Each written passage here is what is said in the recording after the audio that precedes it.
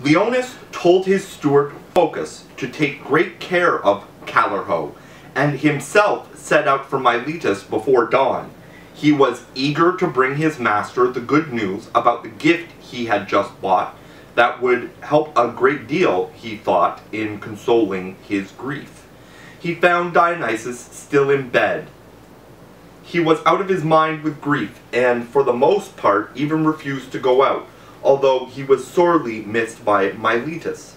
He kept to his room as if he still had a wife had his wife with him. When he saw Leonis, he said to him, This is the first good night's sleep I have had since my poor wife died. I dreamed about her. In fact, she was taller and more beautiful. I saw her there beside me as clearly as if I were awake. In my dream, it was the first day of our married life. I was bringing her home after our wedding from my estate by the sea, and you were singing the wedding song. Leonis cried out before his master had even finished, You're a lucky man, sir, asleep and awake. You're just going to hear the very thing you've dreamed about. And he began his report. I was approached by a trader who had a very beautiful woman for sale. He had anchored outside the town to avoid customs officers, and near your countryside, and near your country house. I made an arrangement with him and went out to the estate. There we agreed on terms and concluded the sale. For practical purposes, I've given him a talent, and he has handed the woman over to me. But the sale has to be legally registered here in town. Dionysius was glad to learn that the woman was beautiful. He was deeply attached to women, but not glad to learn she was a slave, for he was a true aristocrat, preeminent in rank and in culture throughout Ionia, and would not contemplate taking a slave as concubine. Leonis, he said, a person not freeborn cannot be beautiful. Don't you know that the poets say beautiful people are the children of gods? All the more reason for their human parents to be born, nobly born. You are struck by her because there was nobody else there. You compared her with peasant women, but you've brought, bought her. So go to the marketplace and Adrastus will see to the registration.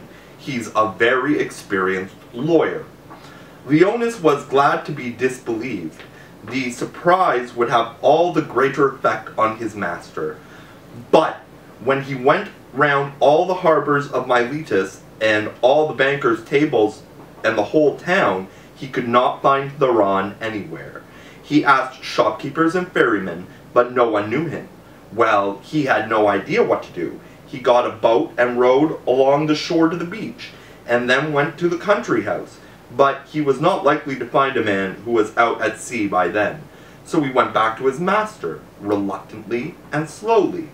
When Dionysius saw him looking gloomy, he asked what was wrong.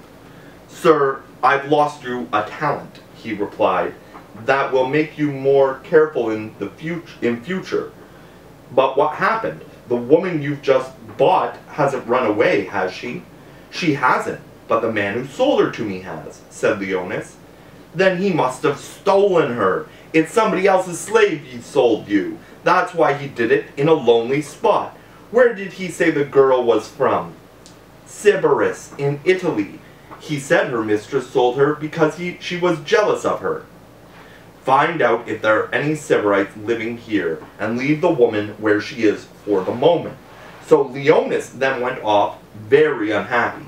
His business deal had turned out unsuccessfully. He began to watch for a chance to persuade his master to visit his estate. The only hope Leonis had left was for him to see the woman. As for Callirhoe, the woman, country woman came to see her, and at once they began to make up to her as if she were their mistress.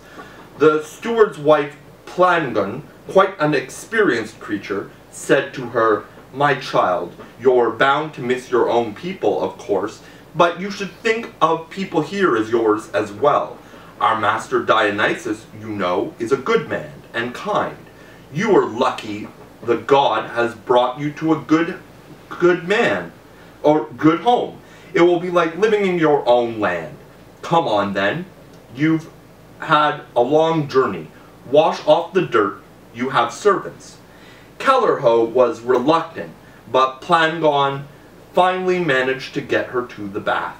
They went in, rubbed her with oil, and wiped it off carefully. When she undressed, they were even more awestruck. Indeed, although when she was clothed, they admired her face as divinely beautiful, when they saw what her clothes covered, her face quite went quite out of their thoughts. Her skin gleamed white, sparkling just like some shining substance. Her flesh was so soft that you were afraid even the touch of a finger would cause a bad wound. The women murmured to one another, Our mistress was beautiful and celebrated for it, but she would have looked like this woman's servant. Callirhoe was distressed by their praise. It was ominous. When she had her bath and they were arranging her hair, they brought her clean clothes. But Callirhoe said they were not suitable for a woman who had just been bought as a slave. Give me a slave's tunic. Why, you are superior to me. So she put on ordinary clothes, but even they suited her well and looked expensive with her beauty shining on them. When the women had eaten, Plangon said, Go to Aphrodite's shrine and pray. She appears in these parts, and not only the people round here, but folk from town come and make sacrifice to her.